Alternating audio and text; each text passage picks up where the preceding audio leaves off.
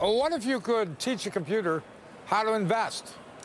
It would analyze the markets, it would think, and it would give you the best ideas of where to put your money.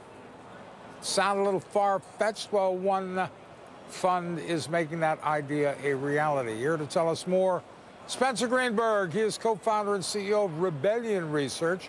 Rebellion uses machine learning technology to guide its investment strategy.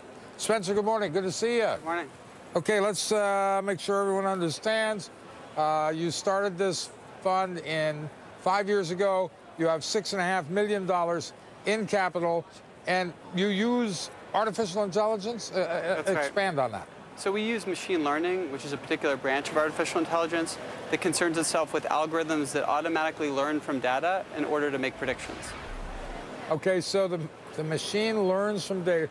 Is this, is this like a, a neural network? Uh, So that is one type of machine learning. okay, and it learns. So it gets presumably smarter as it goes along. Hopefully. And do you just like turn this thing loose? It says in the intro, it said your investments are guided by AI. Does that mean there's a human being that then looks at it and makes another decision, or do you trust the machine?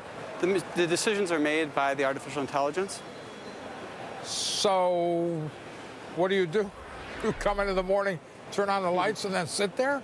Well, we work on trying to improve our strategy, of course, find new ways to analyze it, improve our data capabilities, and things like that. How is it done so far? Unfortunately, I'm not allowed to talk about our performance because of regulations. Aha. Okay.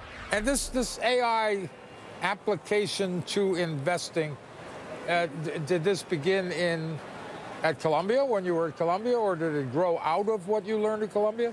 What was the Well- timing like? Artificial intelligence is a rather generic term. It simply means designing algorithms that try and make intelligent decisions or intelligent behavior. Right. So, and it's been around for a long time. I think that machine learning is a very interesting branch of artificial intelligence that's going to have a bigger and bigger role in investing in the future. Okay. And uh, I'm curious as to what's going on inside the black box. It's it's learning. Is it saying, buy this now, sell this now? How active is this machine in terms of trading?